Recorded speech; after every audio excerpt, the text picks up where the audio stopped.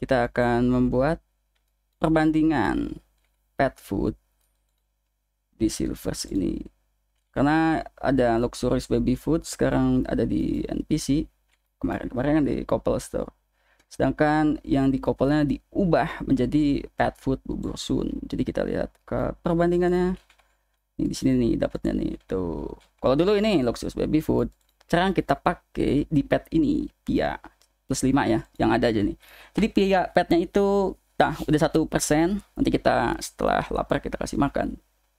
Dan ini nanti akan kita percepat juga supaya nggak lama. Tapi itu thank you bang tas itu gua kira ya sumpah nih gua kira Suna itu kayak coming soon gitu.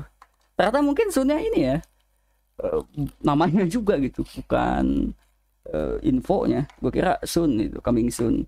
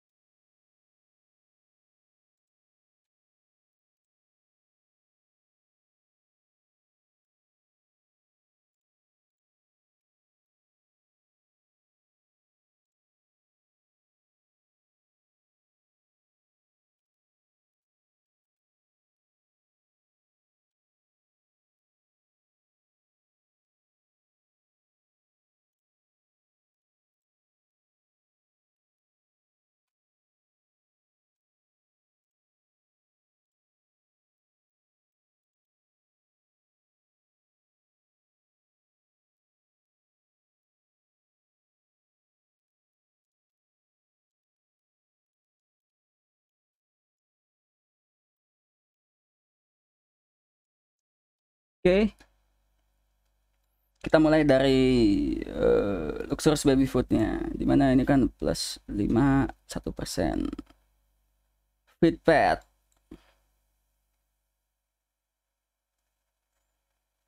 empat puluh sembilan kurang satu artinya satu Luxus baby food itu menambah 48%. Kita reset lagi ke satu persen ya tuh. Sekarang kita coba yang bubur ini. Apakah dua kali lipat atau di bawahnya? Kita nggak tahu. Jadi kita tes aja. Intinya tadi 48% di kategori pet uh, seed. Dan ini seednya adalah eh seed sorry pia. Dan ini pia yang pinknya ya.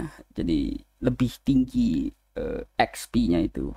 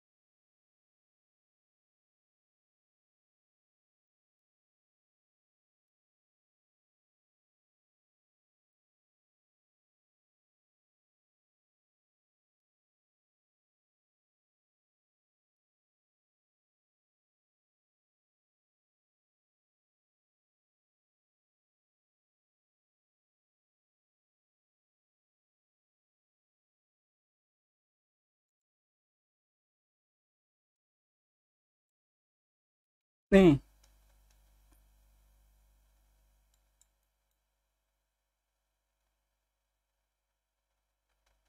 Ternyata 30% artinya sebelumnya itu kan eh, tadi pakai Luxus Baby Food itu 48% ya.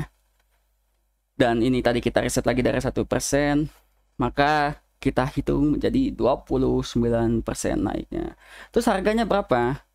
Jadi kita anggap supaya perbandingannya lebih bulat. Jadi kita bulatkan di mana perbandingannya satu banding dua. Artinya satu eh, uh, pet food bubur itu di harga sekitar uh, misal di ini patokannya kita di Mersen ya di dagang jalanan itu. Luxurious baby food satunya itu 15.000 segel. Artinya yang dari IM sekarang nih uh, eh sorry. Nah yang bubur ini tengahnya sekitar 7.500an jadi kalian nilai sendiri. Intinya ini lebih rendah. Begitu thank you untuk pertanyaannya Bang Tas. Jadi semoga sedikit membantu. Jadi kita sudahi sampai sini. Thank you semuanya